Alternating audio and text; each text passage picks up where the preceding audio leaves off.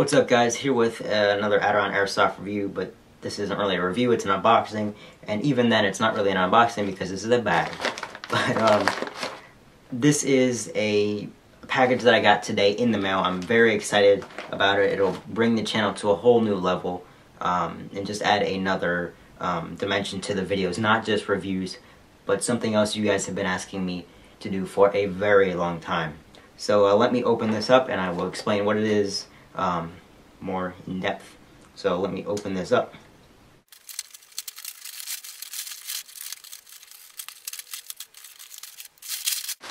Alright, so here we have it. Um, this is actually a lot more than I expected. Wow, look at that. Alright, so um, I will put these these hats to the side. Um, didn't expect those. But in the most recent vlog, actually my most recent video, I put a uh, little thing at the end. I mentioned that um, you guys have been asking me a long time for first person, or not first person, but war footage in general. And I said there might be some of that in the future, and that was hinting to what I have right here. I've been talking to Tachyon. Um, they, they're known for their helmet cameras, their first person cameras, and for a long time I've been looking at different helmet cameras and stuff, and with, um, I was just kind of undecisive on where to go, where to start, what cameras are good and what what aren't. Um, a lot of you have seen the uh, little helmet cam I tried tried to make with a little $15 um, spy camera, spy camera, and I hooked it up to my um, main filming camera, put that in a bag, and it was just a pain. It wasn't worth it. So um, recently, within the past six months, Tachyon has come out with their new Ops line um, of cameras. The whole point of the Ops line is that they're there for um, for shooting sports for military simulation games, paintball, airsoft, shooting real guns, um, hunting, any of that. But they also, because these cameras are so small, they can be used for a variety of other things. You can use them for, um, thing that comes to mind is um, like RC helicopters, RC planes, because they won't affect the uh, the can or the the whatever whether it's a helicopter or a plane that much um, weight won't be that much of an issue because they're so small. Um, so here we have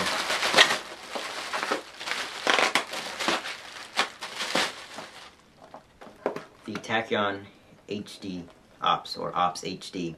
Um, Tachyon came out with their Ops SD, which is the um, a little bit smaller version of this. And um, if you are interested in uh, seeing a video of that, check out What You're Looking At channel he got one a couple months back and um, did a review and all, and that was um, gave me a little bit more information on um, this actually. But I've been talking to Tachyon for a while, and they told me as soon as the HD versions came in, because they, I mean, they just within the last month were released. Um, they just came in, they filled out their pre-orders, and then they shipped one of these to me to review. And so hopefully I am the first, um, or one of the first large channels to actually review one of these. I'm extremely excited because this opens up a whole new dimension to the channel. And um, now to the unboxing, and I will show you guys this um, out of the packaging. One thing I forgot to mention just as I was uh, going off on a tangent talking about this was in the package there were actually two Tachyon hats, which uh, that's really awesome. I really didn't expect them to do this. So huge thanks to Tachyon. Maybe we'll give one of these away. Um, I'll definitely have to wear these um, while I'm airsofting and using this. Although I'll have to switch off between this and my Aderonn Airsoft hat. But um, huge thanks to Tachyon for all of this stuff. By the way, you can get these for about $140, which is really cheap for a, um, a nice camera. Um, especially one so small that you can put on your um, helmet. And one of the big things that really attracted me to this camera was it was so small that they had a little mount that goes on just the uh, little bill of the hat.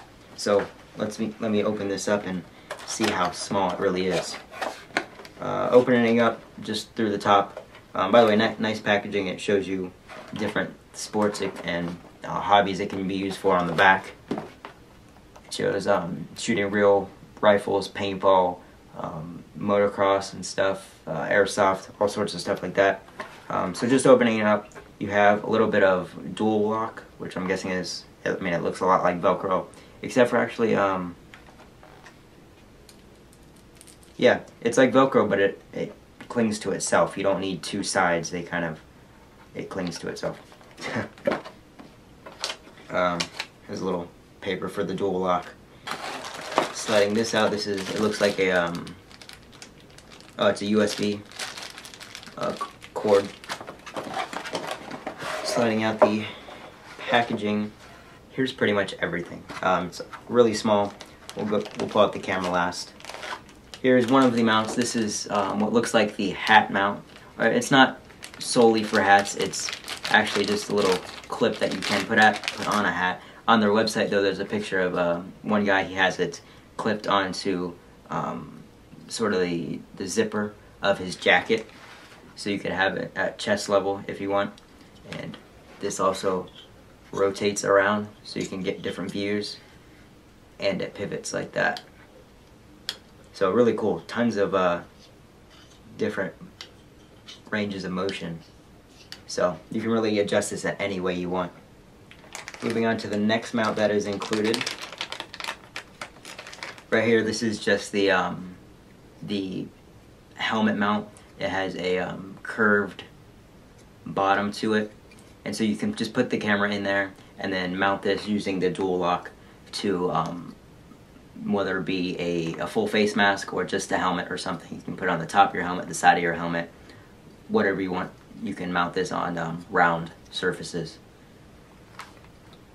The next attachment is a camera mount. I can tell because I can, um, on the bottom there's the little um, threads to mount it on your, your tripod.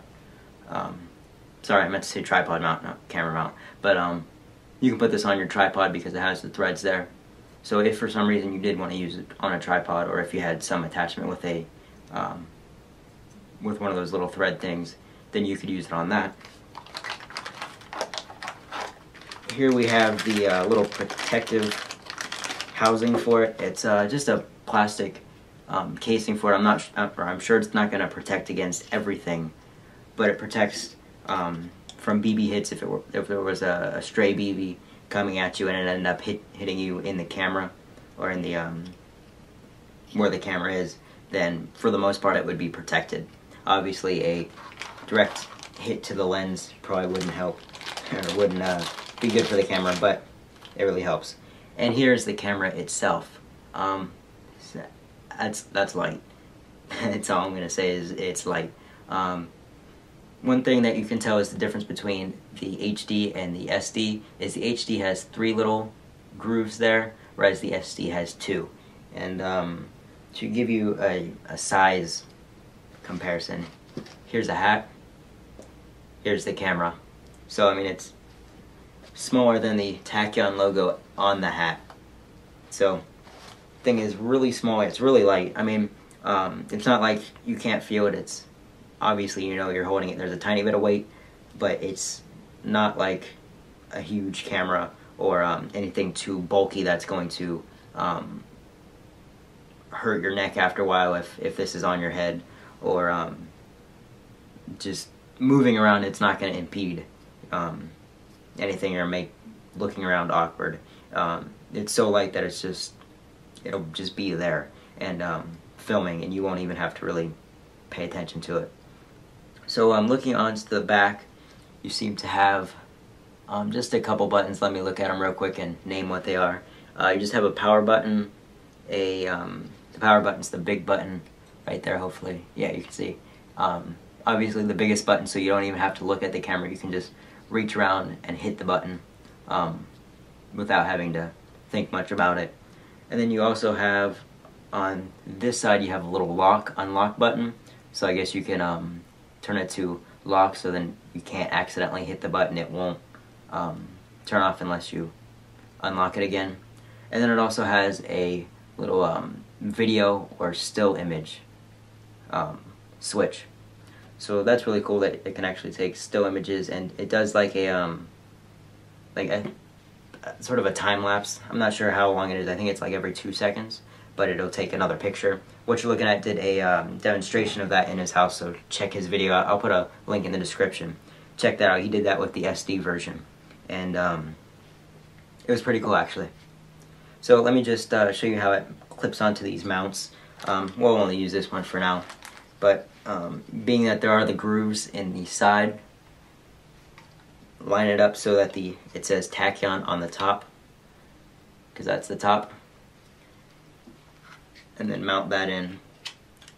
And the little there's little grooves inside the mount that'll latch into the grooves on the outside. So um, I mean it's not going anywhere. That's firmly and there's no shaking whatsoever. There's no um, moving around in this in the uh, little mount. It's not going to fall out. So then you can mount it to, let's say, your hat. This is probably how I'm going to have it mounted most of the time. But, um, wow, this is... it's probably best to mount it first and then mount it first and then um, then put the camera in because that's a really stiff um, clip right there. But um, give me a second to get this all in. Yep, and there you go. You have your camera mounted on your hat, and it's so light that it shouldn't be much of an issue with the weight and all.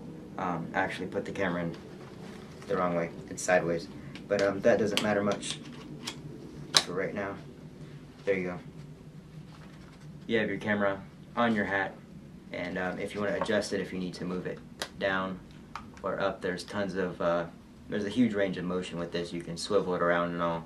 Um, so, really cool with that. Um, actually, I'll just leave that on. Pull the camera off, camera off, and here you have your tripod mount, and it latches on. And then also here you have your um, your standard, your little protective shield for it. So, um, really cool. I'm, I'm extremely excited about this, and I can't wait to make some cool videos with this, get some game footage in there, and um, so, actually I have this in wrong. There are three little, hopefully, yeah, you can see that. There's three little um, grooves um, or bumps with the um, protective covering. You're just going to want to line those up so it sort of latches in a little bit.